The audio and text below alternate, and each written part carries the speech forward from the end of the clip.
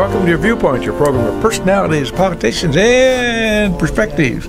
We've got some perspectives. We've got a couple of personalities this morning. I'd have a comment or two about the politicians, but I don't want to get thrown off the air. Oh, you won't. Well, no, we won't go there. Um, thankfully, oh, Mr. Miller, the uh, Chris Miller, the weatherman, did us a favor. Uh, when I went to bed last night, I thought we were going to see lots of white stuff. Uh, happily, didn't see it this morning when I got up. We will have by the time we get home, I'm certain. But anyway. Okay, we always, gentlemen, we always start the program with uh, kudos, or maybe two or three, who knows. Um, I noticed our uh, Lincoln Lady Railers have won so far in the basketball tourneys and uh, moved to the sectional finals. So congratulations to those Good young ladies. Uh, they've had a great year so far, and if this is as far as they go, they've still had a wonderful year. So congratulations to those girls. And I also noted uh, kind of a, a little commercial thing here, but uh, I noticed that Andrew Hayes and Debbie Last were made principals in the uh, accounting firm with, with which they are associated, J.M. Abbott and Associates. So knowing those young folks and, and uh, appreciating what they do uh, up there, I just kind of a personal accolade and a kudo to them. And uh, we have a noted author up here this morning. Yes, we have. Where? Mabel. We had a little word from management there. Uh, there'll be 10 minutes while well, we all applauded that silently.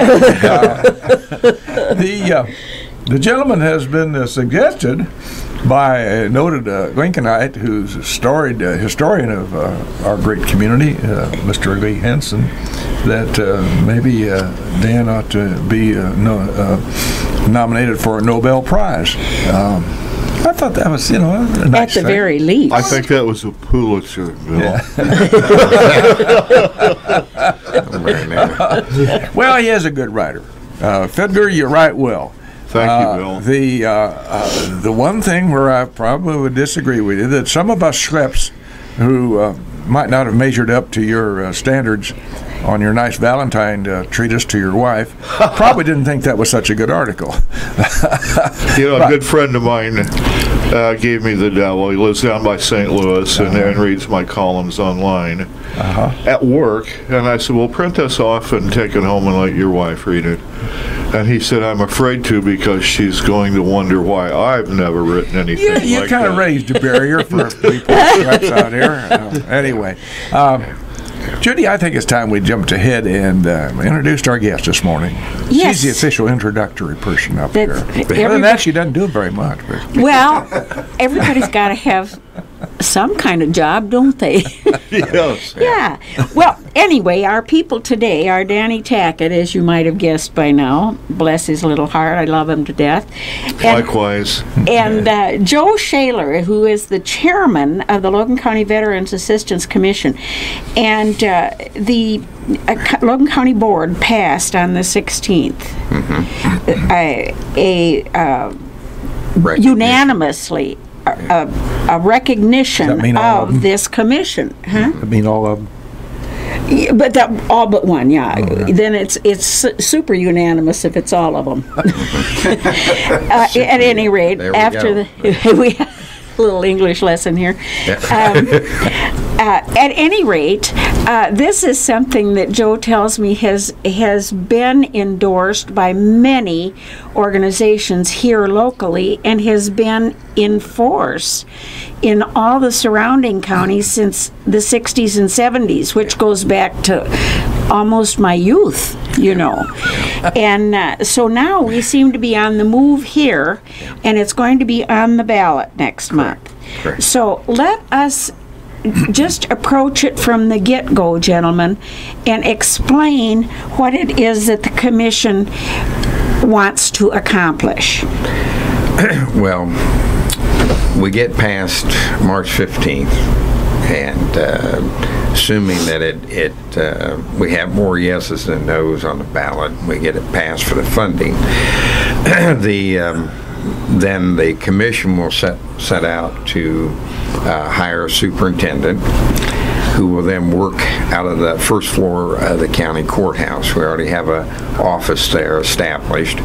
Used to be the old Logan County boardroom. Uh-huh. So it's going to be on the first floor, um, and it will be equipped and everything. So we'll, the first uh, order of business after the election is to find a superintendent and hire them. What the superintendent, uh, some of the primary things I'll be doing, of course, number one is filing claims to the VA. Uh, because right now, uh, we, we do have someone that comes over from Decatur once a week to the Oasis, uh, and he'll do that um, when he can. So we really don't, we really don't have a regular Daily assistance. yeah, regular. So we're really kind of a, a satellite out of Decatur, out of Macon County. So we don't have our own veteran service officer here. So that's really the primary thing. Number one is have that superintendent's going to become a trained veteran service officer if they're not already. Uh, ideally is to get someone who's already trained to do it. But if not, we'll get them trained. Uh, so they'll handle the claims, filing claims. Uh, one of the other areas that uh, that they'll cover is what they refer to as emergency financial assistance. Uh, what that comes down to uh, and this is for honorably discharged veterans. Um, if, let's say, for example, in the area of their rent or mortgage payment or utility, one of those three areas, that they are a month behind for whatever reason, something's happening, a huge car repair, something's happened, a medical emergency, and they realize they can't make that payment. The superintendent has, will have the same criteria to go through uh, as they would have it with the- what they call the Illinois Human Services, uh, which is really a, a computer program to go through about their employment, uh, residence, things like that. Make sure their income is, meets the income criteria, they're not making too much money. So assuming they meet all that criteria, uh, and uh, and I always use the example that let's say they can't they're behind in an Ameren payment and it's three hundred dollars. Uh, if they meet all the criteria, then the superintendent will then have the authority contact Ameren and make that payment directly for them. And having said that, we also impose a limit and that's probably, I'm going to guess, to be 800 to $1,000 per year per veteran family. Mm-hmm. So that Of means for outright their dependents. Pardon? Of outright assistance. Of outright assistance, right. So we're not going to have a frequent flyer showing up every two or three months. So, you know, I can't make the rent payment this mm-hmm. month, or I can't. Yeah. Now that falls under another heading, which is to outsource them to the right place in the county. Who should you be talking to? We're here for an emergency. This is no longer an emergency. This is becoming something that Chronic. that's you know is yeah, have it. ongoing. So now we need to get them in front of some other people, and that's one of those things that that talking to all the superintendents and, and a lot of the people in commissions over the last six or seven months uh, of our neighbors surrounding neighboring counties is uh, when a veteran comes in, and we have several of them here, uh, we're a little reluctant first to come and ask for help, begin with. So one of the things that, we, I have found that they've accomplished, they're a little more easy to come in and talk to other veterans and say, hey, here's my issue. Uh, really, then you become the the advocate, if you will, saying, okay, here's what we need to do. You need to be going to this office here, and here's who you need to talk to. We're going to call them. We're going to get an appointment for you. We're going to get you in front of those people because this is an ongoing situation. You need a bigger safety net under you than this one-time emergency assistance with you. Uh, it could be for job training. It could be for retraining purposes, particularly since we've created a whole new batch of veterans over the last 14 years, and there's no real end in sight of that situation. Uh, we have a, a lot of folks coming back that what they were doing, they can't do now because that's disappeared, or it won't pay them enough. Uh, so we we have avenues of starting to find where we can train them or retrain them. So really, we've become that that that source, if you will, of uh, helping the immediate problem, and then hopefully remedying a long-term problem for them, whatever that may be. Um, some of the other minor things that, that we're working on is that, of course, we're sitting here amongst about three quarters of a million people that are in a 50 mile radius of us. The problem is a lot of the services that the veterans need are not here. They're that 50 miles away or 40 miles away. And we do have some who, who need to get to medical appointments. And so we're working out a, hopefully an agreement with the Logan Mason Public Transportation, mm-hmm. where if we can get them to Springfield to the clinic, or to Peoria to the clinic, or over to Decatur if they need to go to Danville, because Springfield uh, VAC has three vans and they bring people to Peoria if they need it, or they take them to Danville. And a lot of things are being outsourced now to Danville, and a lot of things that were in Danville, unfortunately, are being outsourced clear to Indianapolis now. So it, these services are moving farther away, not They closer. sure are. So our goal is, and uh, to take that and be able to pick that individual up at their home with our service, get them to Decatur, for example. The bus goes through from Springfield, picks them up, gets them to Danville, brings them back. We pick them up again and bring them home.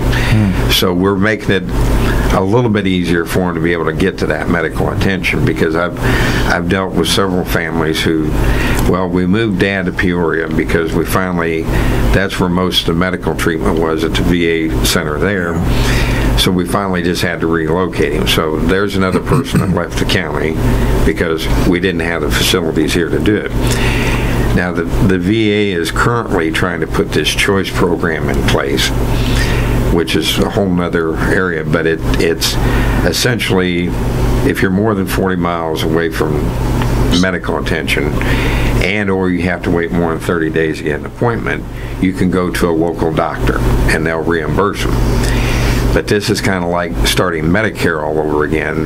They're very slow at getting doctors to sign up to do it because, of course, they're worried about being reimbursed and Oh, all burned, those uh, you know. logistics. They've been burned. They've been burned, yes. sir. State of Simple that. Illinois? Yeah, so, you know, we're, that's going to be a slow process, but if we could get that done, that eliminates so much of this running uh, that, I mean, we've got a new hospital there, we have doctors there, um, but it's just a matter of, we've got to get that program, the kinks worked out of it, and I don't know how many years that'll take, but in the meantime, you still need to get people with their doctors and to be treated. So, we have a, we have an aging veteran population that, uh, particularly the Vietnam era, where most of their illnesses are not popping up until they get into their 50s and 60s and 70s. Yeah. And that's what we're encountering now. So, um, you know, we, we need to we need to be able to help those people right now get what they need. Well, I come back, I have a little history here, Joe, if I may. 70 years ago, we had a Veterans uh, Assistance Commission. I'm not sure the exact name of it, but it ran out of the courthouse. A.J. Berryhill was the point guy there. Yeah. And uh, um, all of us coming home and uh, various, you know, most of us assimilated into civilian life and didn't have any problems. So always, inevitably, there are some that have special problems. Right. Um, some of their, which they couldn't help at all. Yeah. Uh, some of their own doing. And that, I, at some point in time, it just kind of drifted off into the clouds, right. and that be that would be the uh, um, the apple cloud. I mean, Yeah. but they just disappeared, and I don't know what happened there. And so now we're renewing this, and I, I would just guess it's the same thing under flying under a different flag. How did your interest? Where, when's come with your interest in this? How do you get so involved? You're very articulate in stating what what you're trying to do. I, I, the short answer is I don't know how I got involved in it. I don't even know how I got here today, except for drove a truck out here.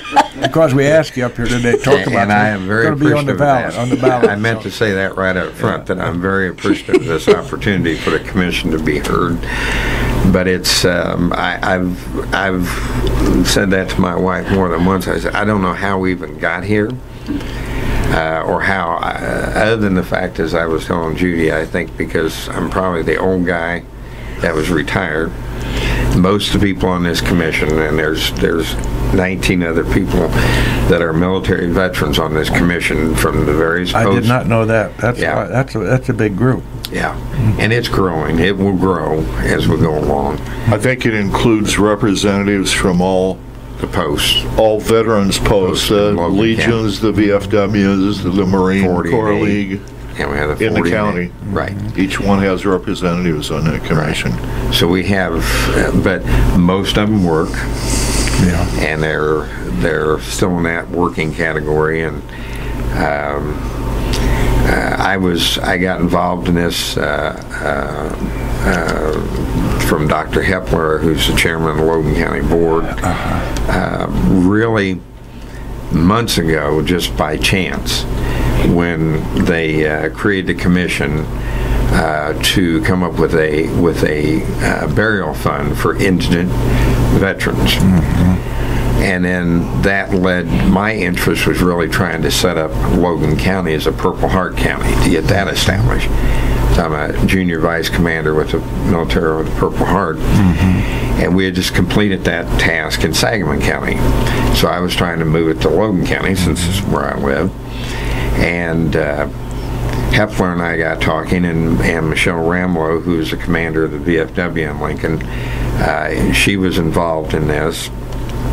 And uh, anyway, one thing led to another, and and uh, after we got through the Purple Heart project, and uh, one of the things that was suggested to, to my wife and I, to Melanie and I, was that we need to uh, somebody needs to go out and raise some funds because you're going to need money to do this, and perhaps the two of you should take that on. So we did, and of course that in, invariably meant she had to go start talking to people. And one thing led to another, and then we ended up in front of civic groups and business leaders. And uh, one of the, the the big turning points of this was this gentleman here, who said you need to talk to Bill, and you need to talk to Bill Thomas. And I tell you what, after talking to him and then talking to you, it was like the booster rockets kicked in and I got launched out there. and Yeah. here we are months later and about 35 groups later that I've spoken to. Uh, but we've had such an outpouring of support that, uh, and the money donations have come in and I I mean, it's just been a very humbling experience, to, to say the least. That uh, we've been very blessed by all of this. That uh, this, the support we've gotten. Last night, I was at Mount Pulaski and uh, spoke to their city council, and they gave us an endorsement, as Atlanta City Council did, and Logan County Board of City Government. Loaded County. And we're, we're just so many people are stacking up behind us that it's just But it's important to point out that this is going to be a referendum matter. Yes, yes. It's And that's the purpose of having Joe Shaler. And, and the reason we brought Fidger up is that Fidger is, I was a little bit earlier, he knows how to put things down on paper. Um, that's why, and he's boosting this program 100%. And that's why we asked Dan to come up. And that's why we want you to come and, and talk about this to our listeners because it's going to be on the ballot. And I think it's very important. And I think if, um, before we get into that part, if Mr. Ash is ready, we're going to acknowledge some sponsors. Then we're going to get right back to a viewpoint. Go right ahead, Jim.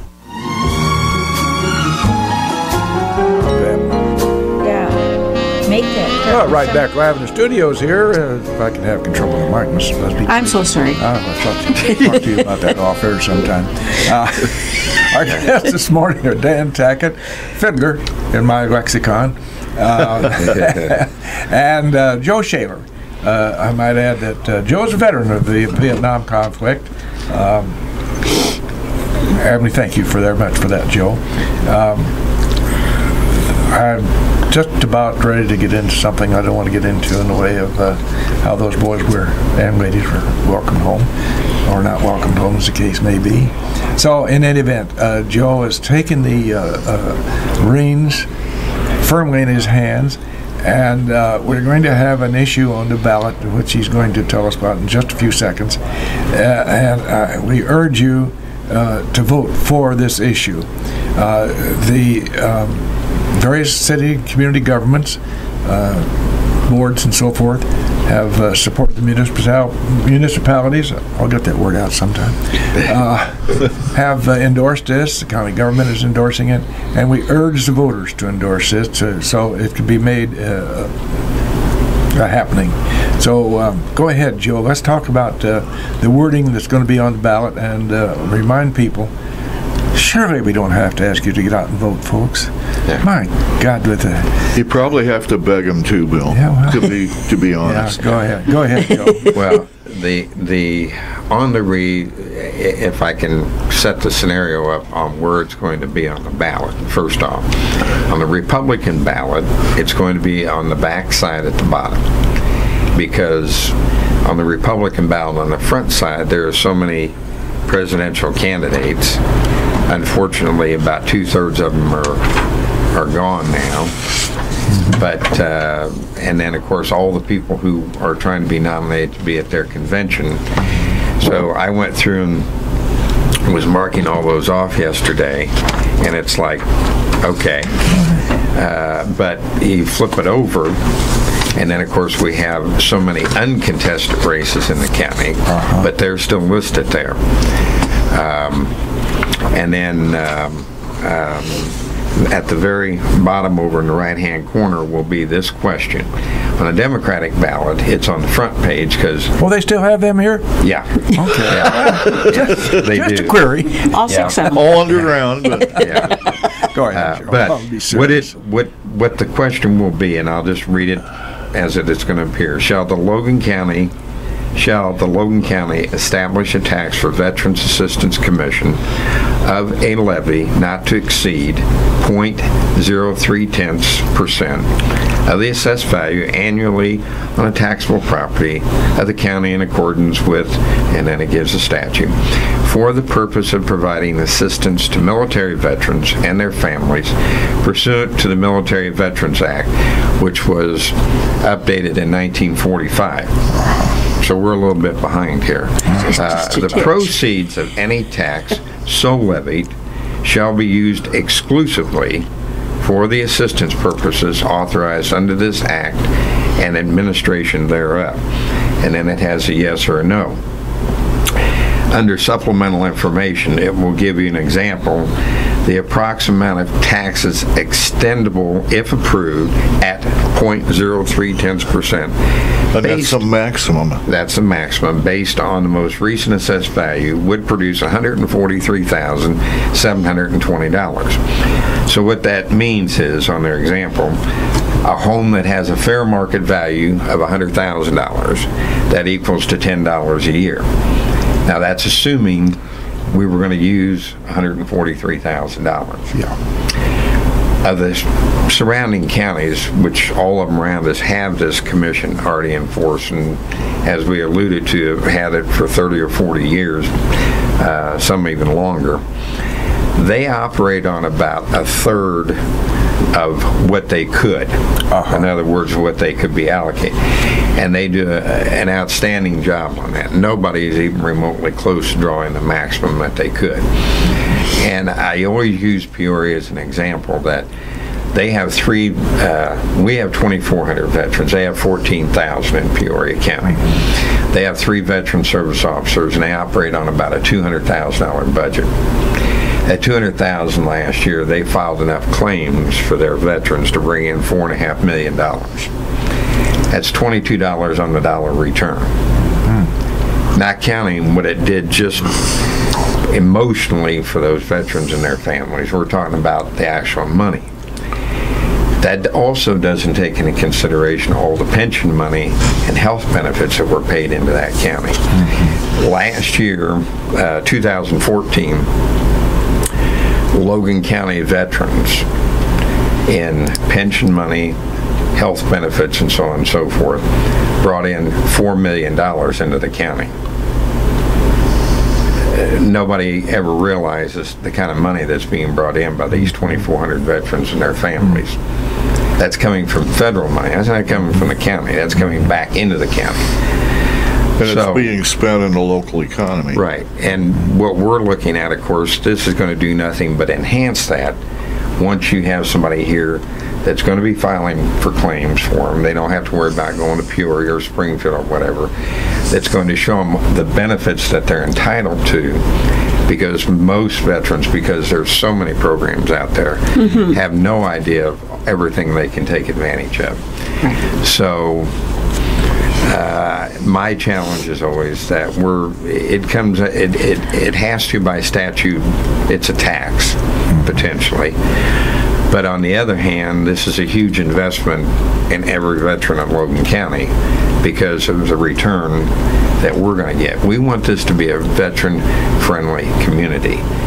And this is, this is one huge way of doing it. So the challenge to the, you know, I always, eh, I- I know I'm kind of rambling on here, but I, I, I think back of when I was 11 years old. I just turned 11 years old. In January of 1961, when a, when a young man was trying to challenge this country on, you know, what can you do for the country? Mm-hmm. So now I challenge people on what can you do for your county veterans now, and that's to vote for this because they deserve it. They deserve it. Their families deserve it. Judy has a question here uh, Yes. that a caller, and by the way, we're so remiss, we get so involved, Judith Kay, in our guests uh, often, and too often, we forget to say that 648 5510 is the number to call if our guests have questions uh, or uh, comments. So, Judith Kay, we had a caller call in a while ago, and uh, go ahead, please. Well, this, whoever it was, wants to know uh, what's, they thought it was a, a beautiful idea, but what's the cost? I think you've pretty well addressed that, but is there anything more on that subject that either of you would like to bring up? Yeah, I'd like to elucidate just a minute on that uh, uh, uh, on that word tax.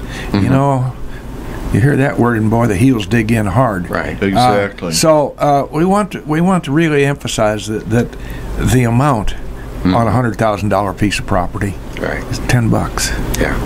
And, and, and the reality is that uh, one of the, I was talking to several of our Logan County members, uh, board members. I said, the reality is if we operate on the same proportion as the other counties do, which I, I'm pretty sure we will, about a third of that, uh, it's going to be about the cost of a, of a Big Mac what it's going to cost a, a property owner per year. But what they're going to do is is just going to be phenomenal as far as helping veterans in this county. Our caller asked what was the cost. I, I, I we, we are assuming that she was asking the question, what's it going to cost the taxpayers? Uh, perhaps she's having a question as to what's it going to cost to run this program. Right.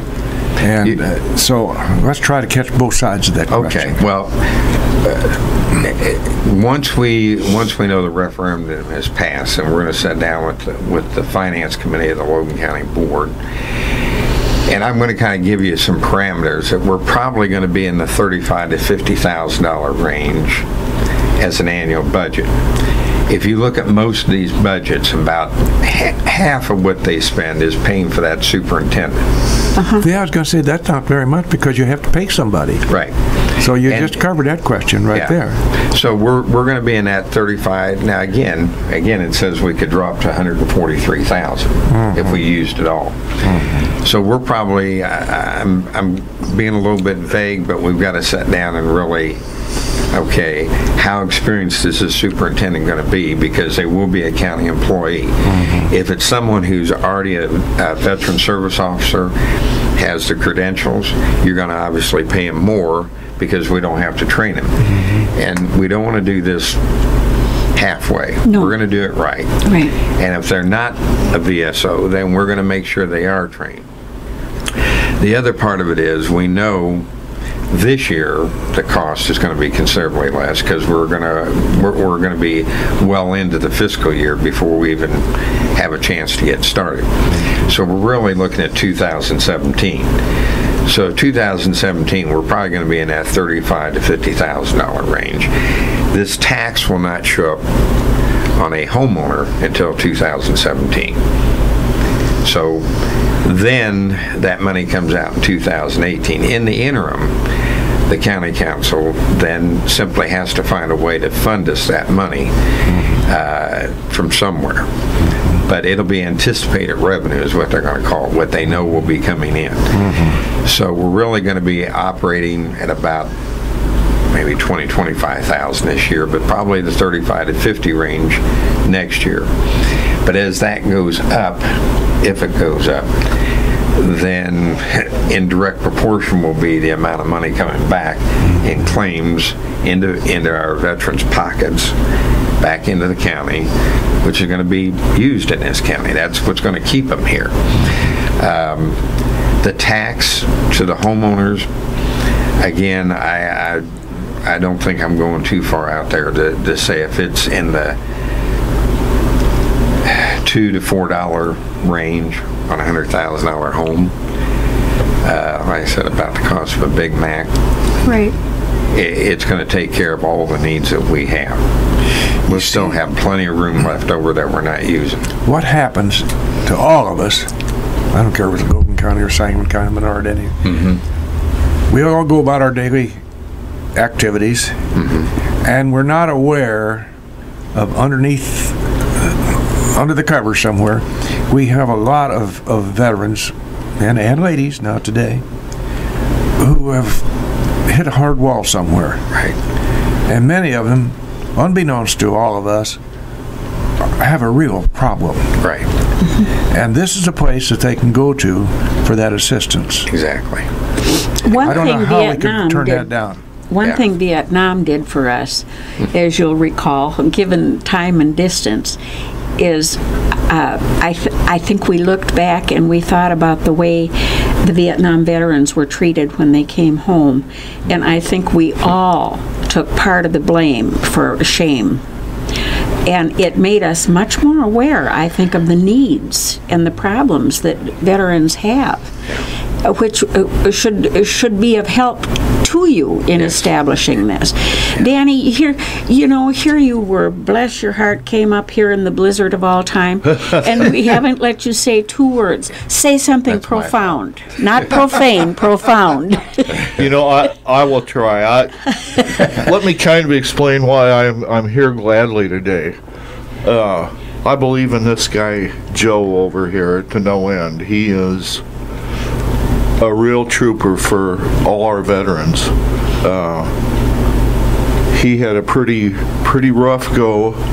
Had a bad Easter Sunday in Vietnam. Got wounded over there. Within recent years, he's successfully battled cancer related to Agent Orange from Vietnam. well, we all remember that word, don't we? Oh, absolutely. So, number one, I, I'm here to support Joe, but probably more importantly, I really believe in this Veterans Assistance Commission.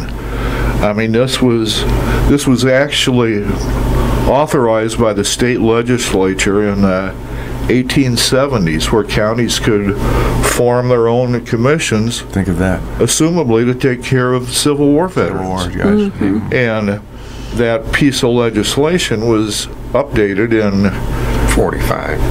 1945, you know, because we had two huge batches of veterans from the I two know. world wars then.